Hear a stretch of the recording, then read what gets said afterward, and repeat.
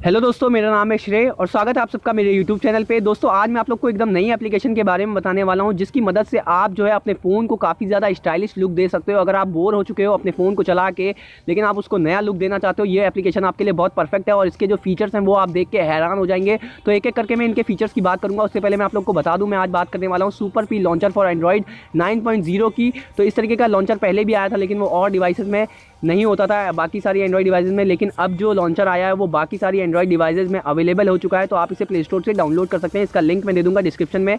तो यहाँ पे देख सकते हैं वेदर की पूरी जानकारी देता है, आपको टाइम टू टाइम यहाँ पे अपडेट मिलता रहेगा। तो चलिए मैं आप लोगों को एक एक करके इसके फीचर बता देता हूँ। वीडियो अच्छी लगे तो लाइक ज़रूर करिएगा और सब्सक्राइब करिएगा हमारे चैनल को। तो यहाँ पे स्वाइप करते हैं तो ये देख सकते हैं आपको नोटिफिकेशन के बाहर मिलते हैं।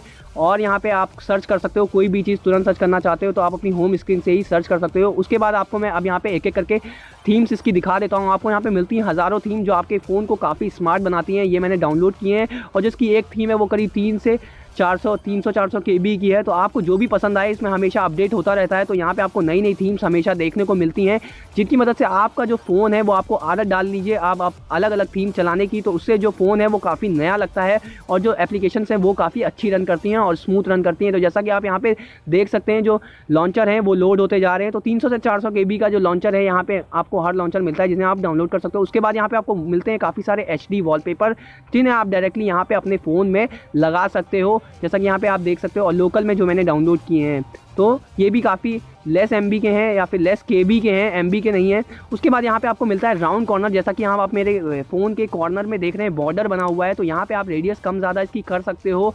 और आप इसको अगर चाहते हो एसेट वाला एक टाइम पे चला था, लोग एप्लीकेशन डाउनलोड करते थे ताकि एसेट का कॉर्नर पाएँ साइड वाला तो वो भी अब आप यहाँ पर लगा सकते हो रेडियस कम ज़्यादा कर सकते हो। कोई अदर डिज़ाइन लगा सकते हो, जो कि एक बॉर्डर की तरह काम करेगा और आपका फ़ोन जो है वो काफ़ी स्टाइलिश और अच्छा लगेगा। कलर भी चेंज कर सकते हो, यहाँ पर आपको कलर के भी ऑप्शन दिए हुए हैं तो कलर भी आप अपने हिसाब से एडजस्ट कर सकते हो, लगा सकते हो। तो जैसा कि आप यहाँ पे देख सकते हो, मैंने ब्लैक कलर लगाया क्योंकि ब्लैक इसमें अच्छा लग रहा है। उसके बाद हम बात कर लेते हैं इस ऐप की कुछ सेटिंग के बारे में। तो आपको यहाँ पे मिलते हैं कई सारे ऑप्शन जिसकी मदद से आप अपने फ़ोन को और ज़्यादा मॉडिफाई कर सकते हो, और ज़्यादा अच्छे से सेटिंग कर सकते हो, जिसकी मदद से आपका फ़ोन जो है वो और ज़्यादा स्मूथ रन करेगा। और जैसा आप चाहोगे वैसा ही रन करेगा। एनिमेशन फीचर मिलता है आपको यहाँ पे, और यहाँ पे आपको हाइड कर सकते हो आप एप्लीकेशन को, और जो है आइकन का साइज़ बड़ा छोटा कर सकते हो।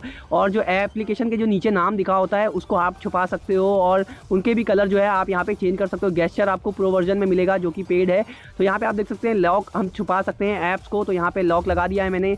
जितनी ऐप चूज़ कर सकते हो चूज़ करो। उसके बाद यहाँ पे सेव कर दो। तो यहाँ पे इनेबल कर देना है और लॉक जो है आपका यह काम करने लगेगा किसी भी एप्लीकेशन के साथ।